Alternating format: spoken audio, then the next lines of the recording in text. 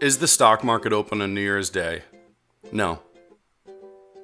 The US stock market is closed every New Year's Day. Since New Year's falls on a Sunday this year, the markets will be closed the following Monday, which is the 2nd. Learn more at isthemarketopen.com for any stock market holidays and schedule changes.